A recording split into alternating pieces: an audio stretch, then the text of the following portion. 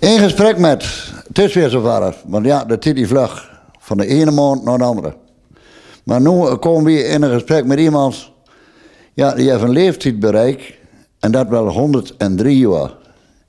Zijn naam is Jan-Willem van den Kamp. Jan-Willem van den Kamp, waar ben je uiteindelijk geboren? In Oldenbroek. In de Lapstreek. En wat hult de lapstreek? De Lapstreek, dat is nu bovenpad. Dat is kort bij het Lo. Bij de, ik heb naar de Lo school gegaan. En hoe lang eh, hij door eh, woont in, in, en op dat bomenpad? Daar hebben we gewoond totdat ik 20 jaar was. Ja. En toen ben je gewoon verhuizen. Toen ben ik naar de, de Bovenstraatweg gegaan. Dat is, eh, toen zeiden we altijd Westereinde. Dat is meer in het westen van Oldenbroek. Dat is hier meer op Laan gegaan. Ja, die jaren heb ik niet beleefd, want ik ben al onder drie jaar geweest. 17 mei, hoeveel jaar gevierd dit jaar. Wat, wat, wat bent dat voor jaren toen je, ja, eigenlijk 103 jaar terug al, maar je, bent, je wordt geboren, je wordt groot. Wat deed je vaart toen de tijd? Toen was er niks. Er was geen dasmachine, er was geen grasmachine. Het moest allemaal met de hand gebeuren. Het werk, het werk. Was uw vader boer ook? Toen hè? Die was ook boer, maar die is overleden. Toen ging ik nog niet naar school. Die had eh, TB. Dat was toen een gevreesde ziekte. En eh, ja, toen pakken jullie op. Want, eh, ik neem aan, hij ook broers en zusters nog? Ik had vier zusters en één broer, die was tien jaar ouder als ik. Dus die moest werken. En dan gingen jullie samen eigenlijk de boerderij runnen samen met hem. Bouwt toen samen de boerderijen, ja. En uw hele leven lang, ja, ben je door niet gebleven. Toen ben je Boomstraatweg gewoond. En toen? 18 naar de Boomstraatweg. En eh daar heb ik door vijf jaar in een, in een woning gewoond. En toen ik naar een grotere gegaan. En daar ben ik gebleven. Daar- Toen ben ik getrouwd. En daar, ben ik, eh, daar heb ik eh, acht- 28 jaar gewoond. Of nee, 29 jaar. In die, in die oude boerderij gewoond. Ja. En hij vele koen. Hm? Hij vele koen. Nou, voelen. In, in het begin minder, iets meer. Ja. Je moest met de hand melken, hè? Hm? Je moest met de hand melken. Ja, eerst, maar het laatste wel machine melk. Ja. Ja. En hoe heb je die jaren beleefd eigenlijk als, als, als een jonge vent? Goed.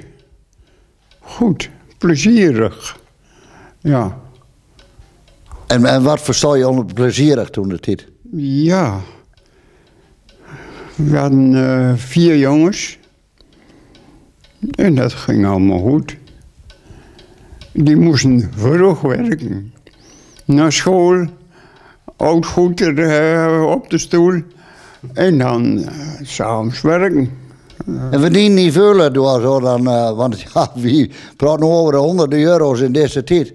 Maar vroeger eh, was een, een cent of, of een dubbeltje veel, niet? Nou, hele, ik, heb, ik heb ook toen als, als jongen, toen ik nog geen 20 jaar was, toen heb ik ook nog wat gaan werken nog zo bij de boer nog.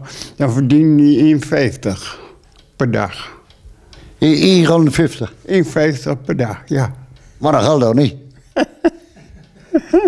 ja, hij er nu over praat, dan zegt ze, ik ben helemaal niet goed. Nee, nee, nee, nee, nee. Was, was toen hier dit, deze streek, Oldenbroek, ook veel bewoners, al niet? Nee, dat was allemaal. eh, maar weg en weer een woning. Hij hier Rustenburg, door hij woningen staan. En, eh, en dan had je nog, nog een. eh, ook nog, eh, ja, wij doen de Stoudamsweg, de, de Stationsweg. Ja, die was toen nog eh Die was toen Zand, Zandweg, met een fietspad erlangs. een erlangs. Ja, en dat, is- dat is uh, vergeleken met nu niks meer, hè? Nee, nee, dat is ni- niks meer. Nee. Het is allemaal groter geworden. Allemaal groter worden, allemaal, ja, ja. Had je ook eh, alle kerkgenootschap binnen de gemeente Oldenbroek toe? Zoveel als nu. Er waren er wel. Er waren er wel, ja. Maar niet echt vullen. Niet zo, niet zoveel als nu lang niet, nee. Het is veel versnipperd. Ja, eh, eh, je hebt die jaren allemaal zien veranderen allemaal, hè. Was dat ten goede van, van ons of niet? Ja, ja, ja, ja. Ja. Was dat ten goede of niet? Hm? Was dat ten goede van ons? Och, ja. Aan de ene kant wel, eh, aan de ene kant weer niet. Eh, Ja, je kunt, nee, je kunt het net nemen zo je wil. Hij kiezen mogen. Hij dan liever de tijd van nu of de tijd van toen? Oh nee, die, die oude tijd die nooit weer te verlangen. Toen was slecht. Armoede. Armoed, armoed, ja. En je hebt natuurlijk ook eh, ja, de oorlog beleefd. Hè? Hoe, hoe hebben jullie dat beleefd? Ik heb Twee- eh, twee twee, wereldoorlogen. twee wereldoorlogen beleefd. Ja, hè? Toen de eerste, toen ging ik naar school. Toen was de school een poosje gesloten. Kon er geen school, dat was niet, nee. En wat, wat, wat gebeurt er dan allemaal om weer? Ja, wat gebeurt er dan? Wij banger? Och, dat, kan, dat, nee, dat weet ik zo niet. Als, als, als, eh, ja, jongen, schooljongen, dan, dan ben ik nog niet zo bang. Nee, ja. Nee. Maar dan komt de vrede, de Eerste Wereldoorlog is voorbij. Denk je dan ook als, als, als jongen zijnde van gelukkig afgelopen, gelukkig nooit weer? Ja, dat is de vast en zeker, vast en zeker. Ik heb zelf, eh, ik was zelf ook dienstplichtig. Ik heb zelf de oorlog meegemaakt. Dus, Tweede eh, Wereldoorlog dan, hè? Toen was ja, de eh, Tweede Oorlog was ja, ik dienstplichtig, ja.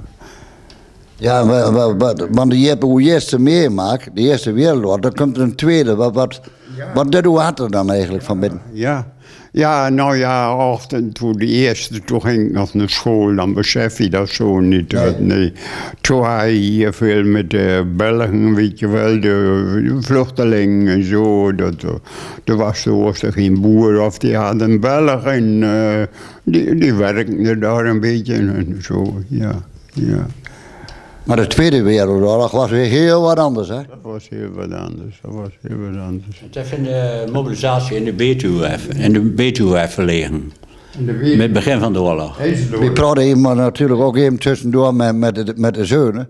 Ja, die werd natuurlijk ook nog eh, heel veel, want hoe vader heeft veel lussen laten, denk ik ook van, van die tijd, hè? Ja hoor. Ja. Ja, toen, vooral van de eerste weer, toen in het Tiel lag in de, in de Betuwe, hè, in de mobilisatie. Dat even, we wouden nooit nog eens weer gaan kijken geweest. Oh, dan ben je samen nog een keer weer weg. Ja, ja, ja, maar er heeft veel veranderd. Toen was, zij, toen was de weg van IJzendoorn, van het dorp, dorp IJzendoorn was een dorp. En dan eh, op de Waaland, op uit de steenfabriek, op de steenfabriek. Maar dat is allemaal veranderd. Tot, eh, ja, ja, ik ben er weer. Ja.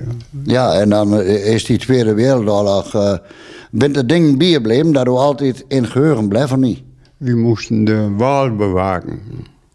Ja. En, en, en dat betekent dus, de Duitser eh ja, ja, scheurt die ook? Ik heb wel geschoten. Ik kan niet denken dat ik er een doodgeschoten heb. Nee, zover, zover ben ik niet gekomen. Nee, gelukkig niet, hè? Gelukkig niet, nee. Nee, want dan blijft vaak hele leven bij. Ja, ja. Maar bent er wel dingen bijgebleven die je nooit vergeten bent, of hè? Ik kreeg wel een opdracht. Die was eh, aan de, over de Waal, daar waren ze toen aan het vlot aan het bouwen. En toen kwam er een poosje later, toen kwam er een op een, eh, op, op een stuk hout. Op, op, op, eh, daar kwam er een, een man aandrijven. Ik kreeg, ehm, ik kreeg bevel van de sergeant, doodschiet. Ja. Ik, ik doe het niet.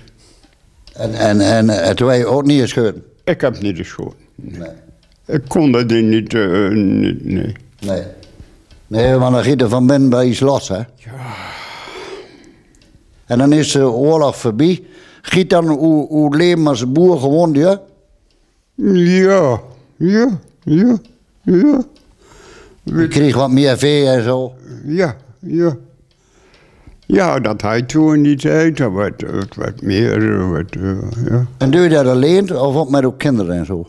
Nou, eh, ik heb. eh, eh, dat hij toen in de tijd een beetje, een beetje boeren van, zeg maar, van eh, een, een koe of 10, 12, 13.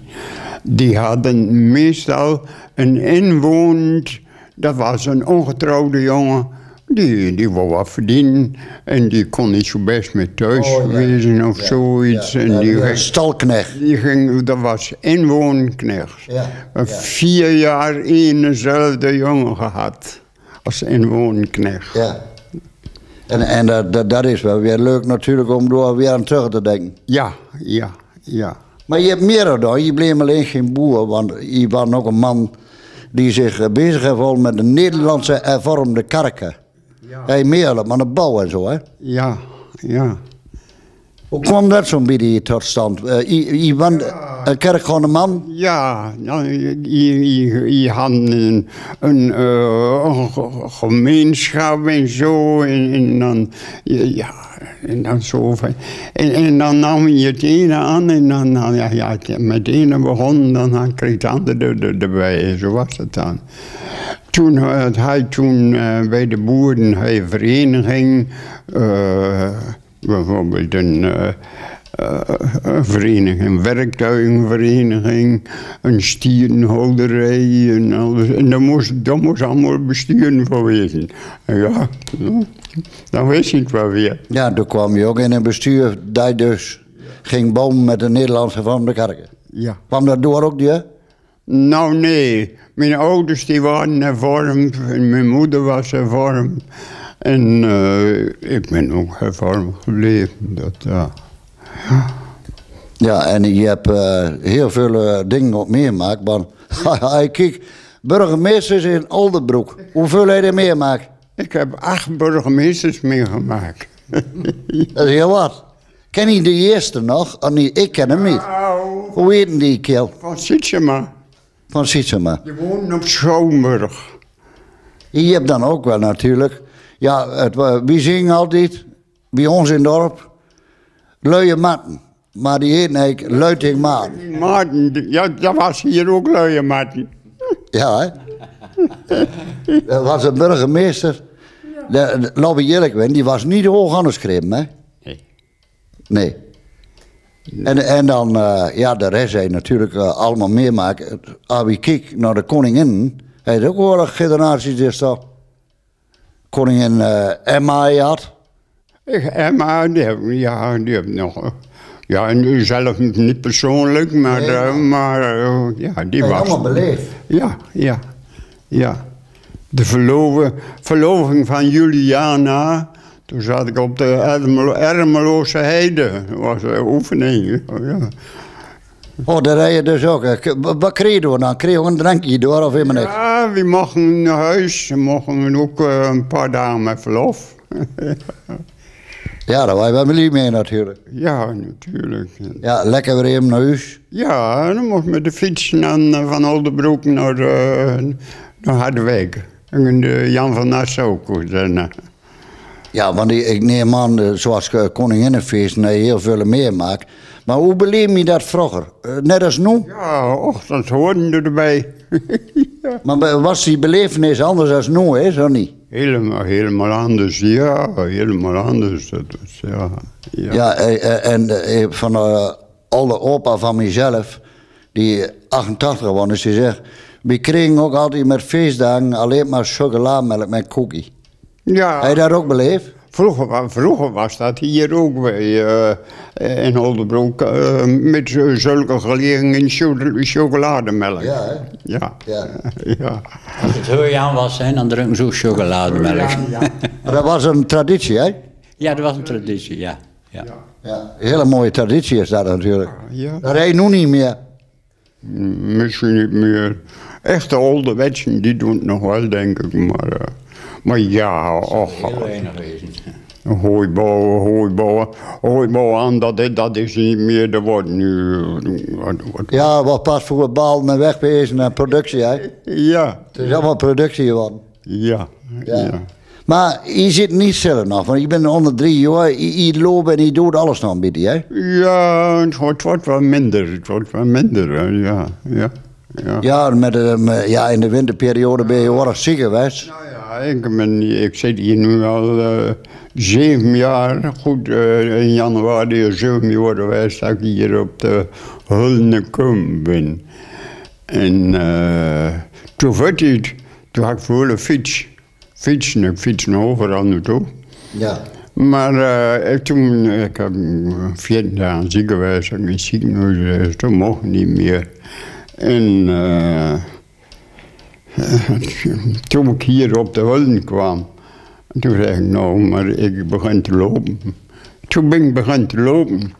Elke dag een rondje van hier, hier zo, eh, hier de, toen was de oude Hulden. Weet je, weet je Ja, wel, ja. die staan hier. En dan eh, achteruit, en dan bij de school langs, daar was een schapenwei. Die, die man die van Loo, hij leeft nog wel geloof ik. Maar in elk geval, eh,